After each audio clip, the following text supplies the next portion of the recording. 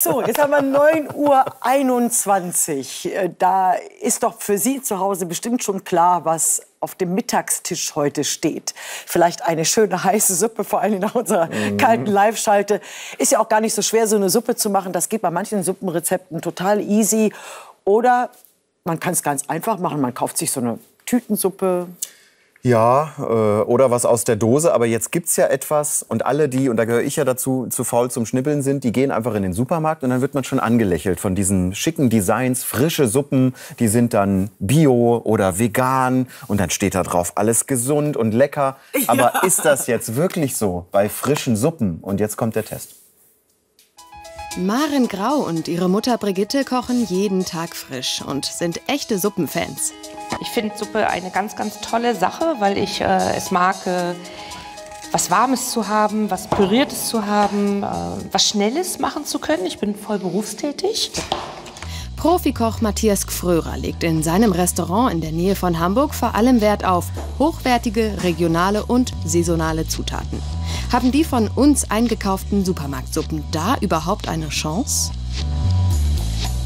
Wenn jemand als Anbieter das sehr günstig hält mit viel Aromen und Zusätzen, dann ist es natürlich weit weg von der gesunden Suppe. Diese vier Kürbissuppen aus dem Kühlregal nehmen wir genauer unter die Lupe. Die Bio-Kürbis-Kokossuppe von Tressbrüder, erhältlich ab 3,32 Euro pro 500 Milliliter. Die Kürbissuppe von Rewe to go für 3,47 Euro. Minimal teurer die Kürbiscremesuppe von Lenas Küche, kostet 3,49 Euro. Und noch die Kürbiscremesuppe von Hofküche für 4,15 Euro pro 500 Milliliter. Los geht's mit dem einzigen Bioprodukt, der Kürbiskokossuppe von Tressbrüder. Ich bin mir gerade nicht mal sicher, ob ich sie in der Mittagspause tatsächlich aufessen wollen würde. Das wollte ich gerade sagen. Und mir, mir fehlt alles und dieses, wie darf ich das sagen, schleimig, nicht am Gaumen. Ähm, ich mag sie nicht. Tressbrüder schreibt, dass die Konsistenz abhängig von der Erntezeit variiert, beispielsweise durch den Stärkegehalt der Kartoffel. Beim Blick auf die Zutatenliste hat Matthias Gfrörer aber nichts auszusetzen.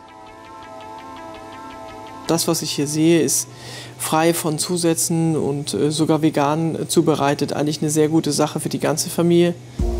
Weiter geht es mit der Kürbissuppe von Rewe to go. Das ist mehr Eintopf, oder? Mir fehlt der reine Kürbisgeschmack. Ich finde das mm, eigentlich eine Frechheit, so das Suppe zu nennen. Das ist jetzt eine Mischung aus anpürierten Eintopf und Kürbispüree und Kartoffelstampf. Bei den Zutaten fällt uns der Säureregulator Zitronensäure auf. Der kann die Konsistenz verbessern und die Suppe länger haltbar machen. Auf der Verpackung heißt es jedoch ohne Zusatz von Konservierungsstoffen. Rewe argumentiert, die Zitronensäure sei Bestandteil der eingesetzten Tomaten und hat im Endprodukt keine Wirkung. Als nächstes probiert unsere Jury die Kürbiscremesuppe von Lenas Küche, ebenfalls in der Blindverkostung. Ja.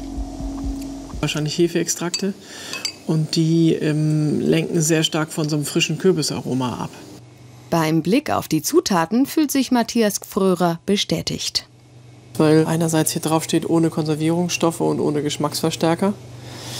Aber die Zutatenliste relativ lang ist, unter anderem auch Maltodextrine und relativ viel Salz, Kaliumiodat und auch gekörnte Gemüsebrühe. Von Lenas Küche heißt es dazu, die Gemüsebrühe werde vorsichtig und minimal eingesetzt, da das Produkt natürlichen Schwankungen unterliege. Und wie schneidet die Kürbiscremesuppe von Hofküche ab? Im Abgang ein bisschen schärfer. Profikoch Matthias Gfrörer stört sich aber vor allem an den Zutaten Gewürze und natürliches Aroma. Der Endverbraucher denkt bei natürlichem Aroma an Petersilienstiele und ein bisschen Zucker und Salz und Pfeffer und Cayennepfeffer. Aber ähm, das würde hier stehen, das Gewürz. Hofküche argumentiert, dass das natürliche Aroma Bestandteil der Biogemüsebrühe sei. Als Endverbraucher sollte man davon ausgehen, dass die frisch gekochte Suppe das Beste ist. Und die selbstgekochte Suppe bietet aus der Sicht unserer Suppenfans auch immer noch das beste Preis-Leistungs-Verhältnis. Muss ich, gestern muss, ich doch ich- muss ich doch selber schnibbeln. Du Dann habe ich mir so eine Suppe gekauft. Na ja, ist jetzt im Kühlschrank, wird jetzt gegessen.